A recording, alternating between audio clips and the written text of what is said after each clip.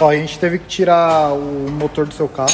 O pistão tá aqui, tá bem zoado, você tá vendo? Eu não sei se esse ano vai ficar pronto, não. Porque tá tudo fodido, velho. Essa aqui é a original. Essa daqui, daqui é made in China. Total. Na cara de pau. Gastei 10 mil reais no carro em manutenção no motor. Olha o preço que tá o cabeçote, 5 pau e meio.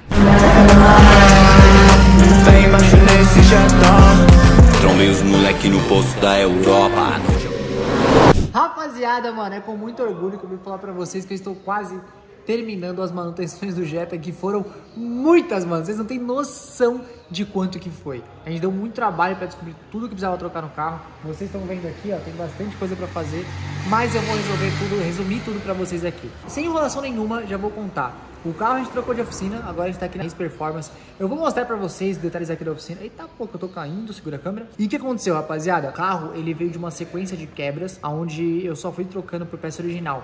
Esse carro aqui, como a galera fala, né, o Futuro Maréia, é um carro mais complicado, você não pode ficar economizando na manutenção desse carro, você precisa gastar bem. E eu fiz isso com muito estilo. Resumindo pra vocês o que aconteceu. Quando eu joguei estágio 3 no carro, eu descobri que o carro precisava trocar a bomba d'água, precisava trocar o kit desincronizador, só isso foi 3.800. Mangueira, um monte de coisa no carro que eu troquei. Gastei 10 mil reais no carro em manutenção no motor, isso que eu paguei só as peças e a mão de obra bem baratinha, que eu fiz parceria. Logo depois quebrou o câmbio do carro. DSG estourou o garfo, normal acontecer um carro de 315 cavalos. Troquei bonitinho, mais 6 pau e meio que eu gastei para trocar o câmbio do carro. Deixei o carro zeradinho, vocês estão vendo, o carro tá bonitinho, bonitinho, tem um polo ali, ó, TSI. Esse carro pega P1, P2 toda vez que vai em Interlagos, o Aldeia da Serra. Interlagos também corre bem. Mas voltando, rapaziada, logo depois de tudo isso, eu andei com o carro, fui para Full Power correr e adivinha o que aconteceu?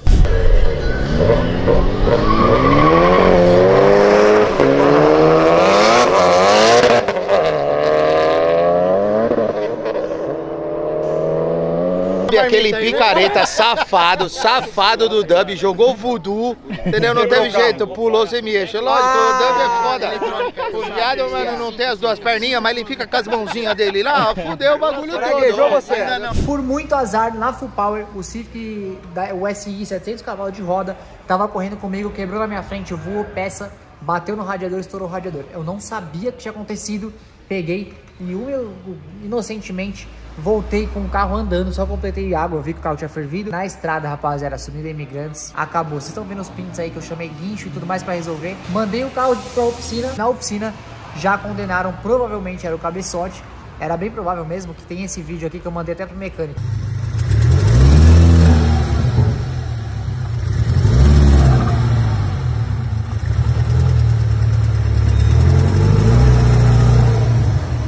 Olha o barulho que tava o Jetta. Como vocês viram, rapaziada, o carro tava parecendo, sei lá, um Fusca, tá ligado? Tipo, mano, cadê a pegada do carro? Um legal, o carro não tinha. Eu fiquei bem assustado, eu falei, mano, fodeu. Olha o preço que tá o cabeçote, 5 pau e meio. Eu não tenho como gastar 5 pau e meio no cabeçote, vou ter que vender as rodas. Olha lá, vendi as rodas do Jetta pra ficar pronto pra comprar o cabeçote se fosse isso mesmo. Tô com a minha Zaro 18 de novo, a Zaro 19 foi pro Caião, mano, o Golf dele ficou lindo pra cacete. E aí o que aconteceu, rapaziada? Mandei o carro aqui pra Race Performance, que eles tinham todos os equipamentos para poder fazer a troca do cabeçote se precisasse. tinha toda uma estrutura para poder mexer no carro. E, mano, vou mostrar pra vocês como meu carro tava ainda com coisas pra fazer que era pra ter quebrado antes. Bom, rapaziada, o que aconteceu? Logo quando o carro quebrou dessa última vez, é, foi o radiador que bateu uma pedra, zoou, uma peça lá do SI, zoou o carro. É, o carro ferveu, zoou a bomba d'água, zoou algumas outras peças no carro. Até, eu tava com tanto azar, bicho que zoou até a trava do porta do, do capô. Lembra? A gente não conseguia fechar o capô do carro porque tinha zoado a trava. Então foi uma sequência de azar. E aí eles trocaram um monte de peça no carro. Graças a Deus, eu não vou precisar gastar os 5 pau e meio de um cabeçote. Vocês viram aí no print do Mercado Livre, era 5 pau e meio. Não vou precisar trocar, era o corretor de admissão. Mas antes eu vou mostrar pra vocês todo o diagnóstico que foi feito no carro para deixar o carro zero de novo. Porque tudo que eu tinha gastado no carro arrumou algumas coisas, mas outras coisas precisavam ser arrumadas a gente arrumou agora. Eu vou chamar o Paulo aqui da, da Race Performance para explicar pra gente todo o processo que foi feito, para vocês entenderem como que a gente vai fazer para deixar o Jetta zerado de novo, confiável para poder viajar, poder tirar racha da pista, graças a Deus, e voltar com o carro andando em paz, fechou? Rapaziada, antes de mostrar para vocês as diferenças até aqui, ó, umas coisas que a gente vai mostrar, eu vou mostrar para vocês identificarem qual é a bobina original do Jetta e qual é a bobina falsa do Jetta de Audi R8, porque eu achei que tinha colocado uma original Eu tinha comprado uma empresa, eu não vou falar pra não dar polêmica, mas famosinha aí. É, eu tinha comprado as minhas, eles me venderam como original. Paguei 50% a mais no mercado pra ser original e não era. É nos detalhezinhos É que você pega. ó. Tipo, aqui dá pra ver uma diferença grotesca. Então, ó. Essa aqui é uma original, ó. Essa aqui é original. Essa daqui, daqui é made in China. Total. Na cara de pau, entendeu? E me admira muito essas empresas aí, que até às vezes renomadas, não estarem certificando, né?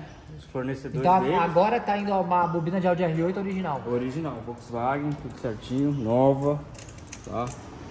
E o melhor, com a gente você tem garantia, porque a gente sabe o que, que a gente coloca nos carros da empresa. Sim, sim. E sabe o que é o pior? Quando eu comprei, é, um mês depois queimou.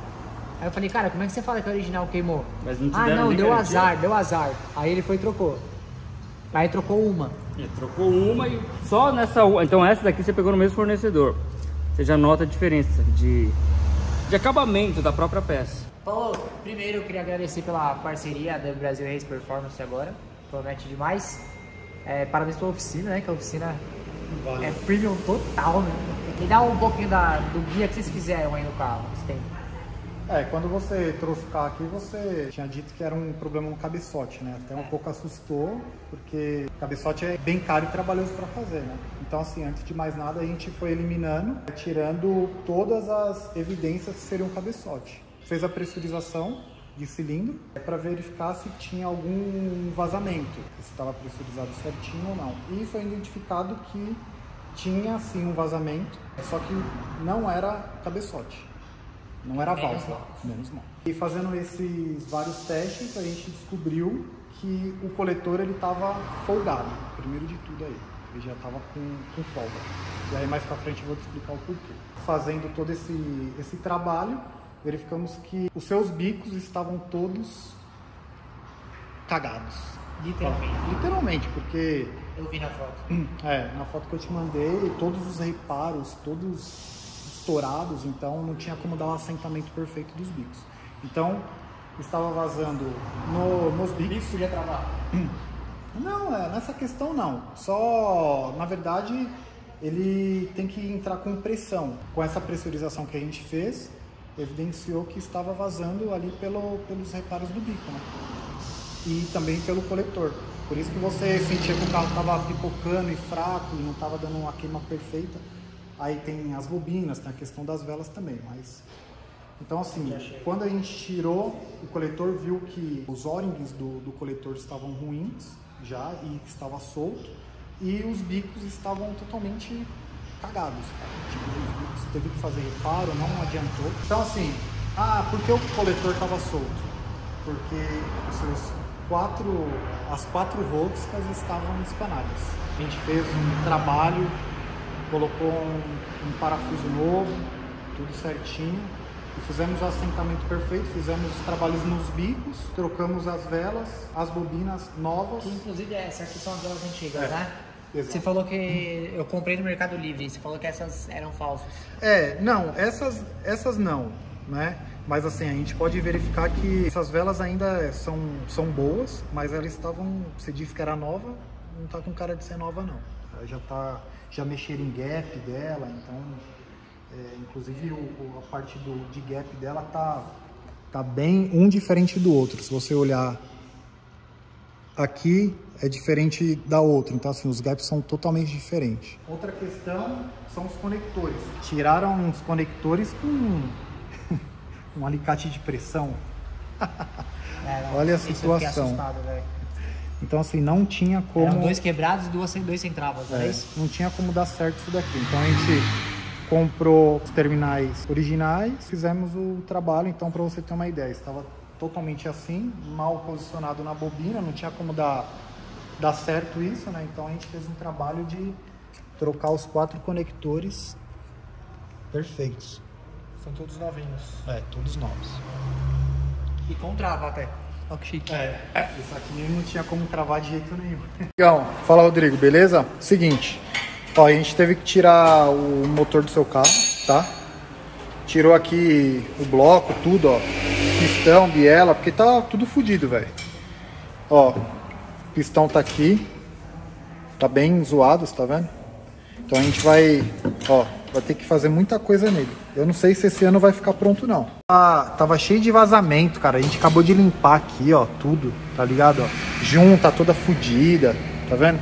Aí a gente vai ter que medir aqui o seu cilindro pra ver se tá tudo ok, entendeu? Vazamento, tinha vazamento pra caralho tudo, velho. Então a gente vai ter que dar uma geral. Bom, Rodrigo, é zoeira à parte, viu? Aquele bloco ali não é seu, não. Ó, seguinte. Cara, essa turbina, como ela é uma biágio, né? O coletor, ele precisa ser trocado, porque o original é integrado junto da turbina, tá? E aí, quando, pela surpresa que a gente tirou aqui, o, tem que ter uma juntinha aqui, certo? Ou uma colinha, ou seja, tava direto aqui a turbina, ou seja, tava vazando, tá? Não sei quem montou, mas, ó, ó as marcas aqui, ó. Tá vendo? Já tava bem queimado aqui já. Então, assim, tava ferro no ferro. Tá errado isso. Tem que ter uma juntinha, uma colinha aqui, tá? Além disso, quem montou não verificou o aperto. Aqui que tava vazando, porque aqui é onde que aqui é óleo e aqui é água, tá? Vou começar pelo óleo, tá? Sem junta. Deveria ter junta aqui. E a água totalmente solta, tá? Que é o parafuso, é esse aqui, ó. Esse bujãozinho aqui, tá vendo? Tá até marcado aqui, tá vendo? Então ele tava, tava aqui, só encostado aqui, tirou com a mão, tá? Só pra você ter uma ideia. Isso aqui tava solto. Então, o que, que a gente vai correr atrás agora? Vai junta, fazer o trampo certinho aqui, entendeu? Passar, ver se encontrou uma juntinha daqui, senão a gente vai passar uma colinha. Vamos ver como é que a gente vai fazer da melhor forma. E montar de novo, tá?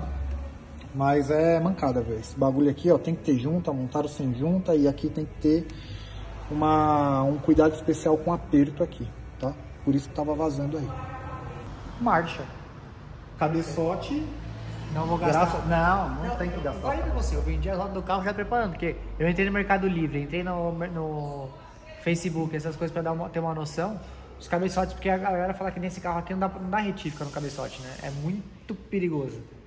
Aí eu falei, ah, mano, entre gastar dois pau pra fazer a retífica, cinco pau num cabeçote novo, vou no novo que eu não vou ter dor de cabeça no motor. Aí já me preparei pra dar cinco pau e meio no cabeçote, tá ligado? Eu falei, tomei, mas vamos fazer o negócio direito. Eu prefiro ter um carro que não quebre. Que era esse tipo de coisa que eu queria, tá ligado? Igual você fez, você deixou o carro, mano, zero. Eu sei que eu posso ir pra speed junk, correr, voltar com o carro sem ter dor de cabeça. A única coisa que falta, que é responsabilidade minha também, é a- aquele vazamentinho de água lá que você também já identificou, né? Sim, Que a gente vai ter que aí vai ter que dar, um- vai dar um trabalhinho, deixar o carro vai aqui. dar um trabalho. Então a gente vai tentar o mais rápido possível, pelo menos para você dar umas puxadas lá e, e voltar para casa com ele funcionando, né? Que é o mais importante. É, Mas cabeçote- o- até o mapa, né? A gente não falou, mas o mapa também vai ser feito aqui agora. É. Eles vão mudar o mapa do carro. Quando eu fizer o escape, tem que ajustar o mapa ou não? Ah, o ideal sim. Sim. O Então, ideal tipo, não, tem, né? então a gente Porque pode deixar o carro carro do tem mapa- downpipe. E aí até depois do downpipe o escapamento original. Ah. Seria isso. Aí tá, tá amarrando o carro pra caralho. Então, tá melhor fazer todo o escape primeiro, sem dúvida nenhuma, aí vem, atualiza o mapa, faz um, um novo mapa. Você não quer mais o POTS, né? Não, velho. Rapaziada, era muito legal o backfire, tá ligado? Aquela... Igual tá aparecendo aí, mano. A gente colocou, tipo, os backfire é bonito de ver, tudo mais. Eles vêm através do Pops. Só que, mano, pra andar na, na rua dá uma agonia, velho. Tudo é pá, pá, pá, pá, pá, pá, pá, pá, pá, pá, pá. Você vai entrar em casa, acorda todos os vizinhos. Eu chego de madrugada. Aí eu Os falei, não, vizinhos devem te amar. Teste de vazão, teste de compressão, tá tudo ok, já fizemos novamente, então o carro tá 100%. Graças a Deus não é cabeçote, então vida que segue, óleo tá trocado, filtro trocado. Agora só tá esperando chegar as novas velas, plugar ali, partiu. Se você quiser, eu vou falar um negócio que eu vou apoiar do Paulo agora, mas quem quiser, ó, vai nesse Instagram, chama eles lá que vai ter desconto. O seguidor vai ter desconto na mão de obra. Não, é. Pô, aí você me coloca em calças curtas, né? em shorts mais curtos. Não, Mas vai mas- te chamar lá e, mano, pode vir, de verdade. Coloca a mão no fogo, no fogo pra essa oficina. Qualquer coisa que você tiver no seu carro, vem chamar eles agora. É o primeiro vídeo que está saindo aqui. A gente vai vir gravar toda semana, então vai ter muito conteúdo. Se acostume com a cara do Paulo, se acostume com a cara do Elcio ali que tá com vergonha.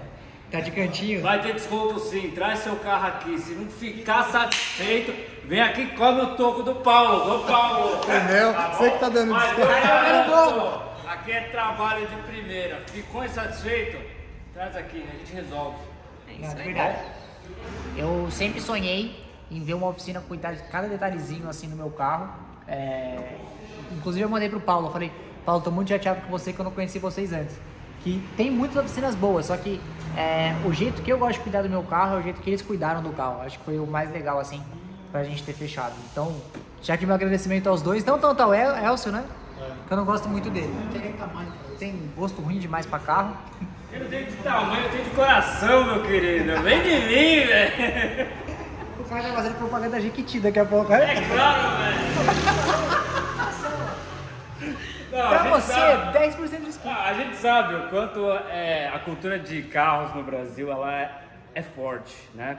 E tem muita gente que não entende isso. Ah, é um carro, é a bosta de um carro, é um carro velho, é um carro. Pô, pra muitas pessoas, como a gente gosta, isso daqui é um sonho.